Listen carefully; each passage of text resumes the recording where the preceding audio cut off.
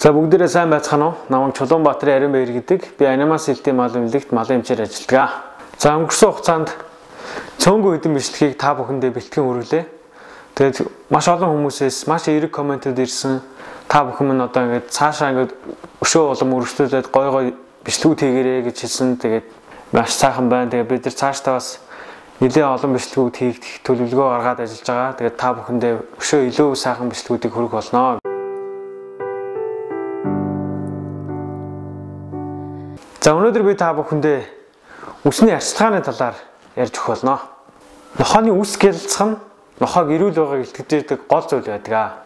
Үсийг гялгар байлгадаг үндэс нь бол эрүүл зүй хоолт байдаг ч үсний арчилгаа чухал байр суурь эзэлдэг юм аа. Үсний үүрэг нь үйлдвэрээс хамаарч биеийн дулааныг зохицуулах, хүйтнээс хамгаалах, бохирлоос хамгаалах, гэмтлээс хамгаалах гэсэн үндсэн үүргүүдтэй байдаг. Өнөөдрийн байдлаар дэлхий дээр 349 үйлдвэр Дэлхийн нохоо судлалын холбоонд бүртгэлтэй байдаг. Эдгээр үйлдвэрийн нохтын үсийг үндсэн дөрвөн төрөлд хувааж байна. Нэгдүгээрт тачир ус. За энэ тачир усанд маань бол а маш юм тачир устэй нохоо буюу одоо жишээлх юм бол Rottweiler, эсвэл Doberman, эсвэл Boxer гэх мэтийн үйлдвэрийн нохоонууд бол тачир устэй нохоонд ордог. За хоёрдугаарт бол хялгсан ус. Энэ төрлийн өстэй нохтоос Монгол түгээмэл байдаг нь бол хав нохоонууд байдаг. Ийм нохоонуудын үсийг бол байнга засуулж авах шаардлагатай байдаг. Гуравдугаарт урт ус. За энэ урт устэй нохоонуудын мөн үйлдвэрүүд бол Collie нохоо багт нь Golden Retriever бас байна.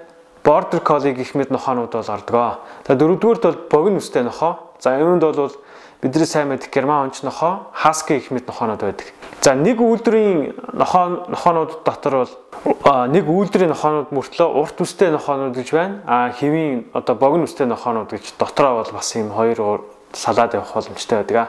Нас, стресс, хооллолт, улирлын байдал, орчин, үржлийн үедээс хамаарч нохооны үс ундаг. Шин үс ургахад арьсан шин талбай хэрэгтэй байдаг. Үсээ сольж байгаа үед эзний зүгээс нохоогоо тогтмол самнах нь маш сайн дэмжлэг болж өгдөг самаа сонгохдоо өөрийн тижээж буй үйлдвэрийн нохоо онцлогийг харгалзан үзнэ. За тачрустай нохооны хувьд бол байгалийн гаралтай ийм хялгсан үстэй самаар самлах юм бол маш сайн байдаг. За мөн дээрэс нь эрзэний шүдтэй самаар самлах юм бол бас маш сайн үр дүнтэй байдаг.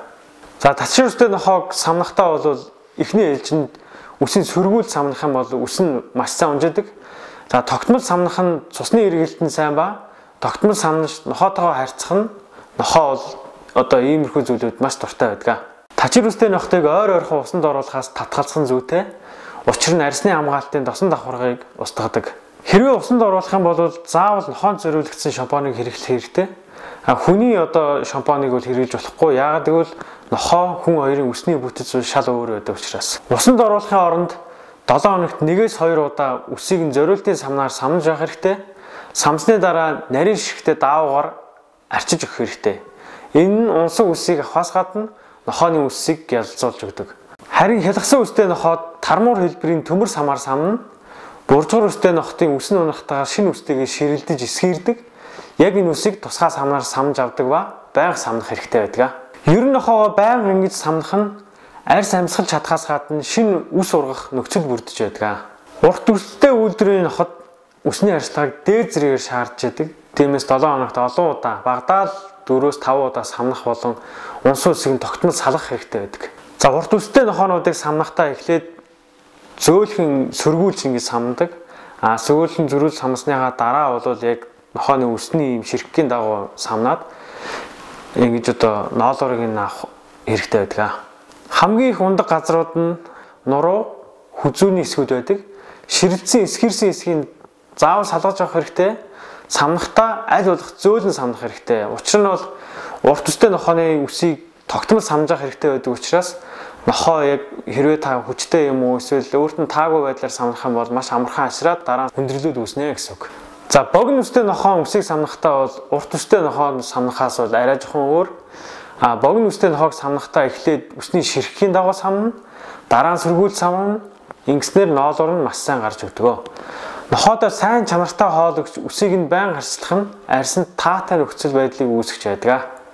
За өнөөдрийнхөө бичлэгээр та бүхэндээ нохооны үсний арчилгааны талаар баг саг мэдээлэл өгсөн гэж найдаж байна. дараагийнхаа бичлэгээр уулзлаа баяр та.